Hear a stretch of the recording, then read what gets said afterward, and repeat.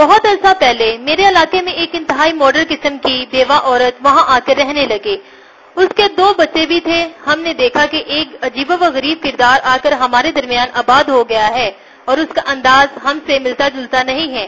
ایک تو وہ انتہائی اعلیٰ درجے کے خوبصورت اور باریک کپڑے پہنتی تھی۔ پھر اس کی یہ خرابی تھی کہ وہ بڑی خوبصورت تھی۔ تیسری اس میں یہ خرابی تھی کہ اس کے گھر کے آگے سے گزرو تو خوشبو کی لپٹیں آتی تھی۔ اس کے جو دو بچے تھے، وہ گھر سے باہر بھاگتے پھرتے تھے اور کھانا گھر پر نہیں کھاتے تھے۔ لوگوں کے گھروں میں چلے جاتے اور جن گھروں میں جاتے تھے، وہیں سے کھا پی لیتے تھے۔ یعنی گھر کی زندگی سے ان بچوں کی زندگی کچھ کٹ آف تھی۔ اس خاتون کو کچھ عجیب و غریب قسم کے مرد بھی ملنے آتے تھے۔ گھر کی گاڑی کا نمبر تو روز دیکھ دیکھ کر آپ جان جاتے ہیں، لیکن اس کے گھر آئے روز مختلف نمبروں والی گاڑیاں آتی تھی۔ ظاہر ہے، اس صورتحال میں ہم جیسے بھلے آدمی اس سے کوئی اچھا نتیجہ نہیں اخیز کر سکتے۔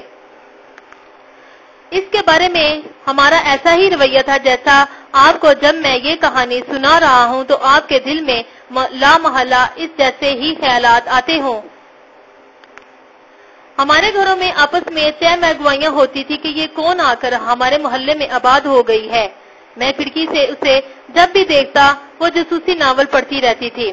کوئی کام نہیں کرتی تھی، اسے کسی چولہے، چوکے کا کوئی خیال نہ تھا۔ بچوں کو بھی کئی بار باہر نکل جانے کو کہتی تھی۔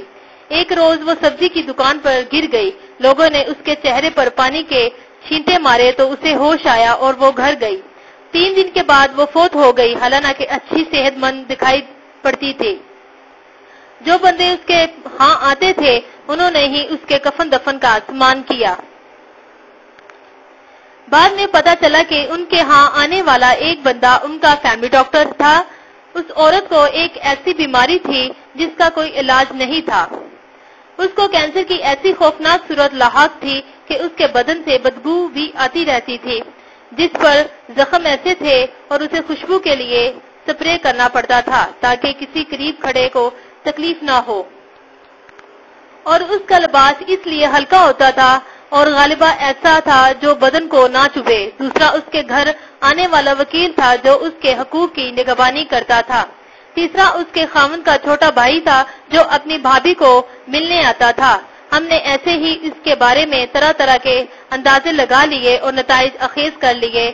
اور اس نیک، پاک دامن عورت کو جب دورہ پڑتا تھا تو وہ بچوں کو دھکے مار کر گھر سے نکال دیتی تھی اور تڑپنے کے لیے وہ اپنے دروازے بند کر لیتی تھی۔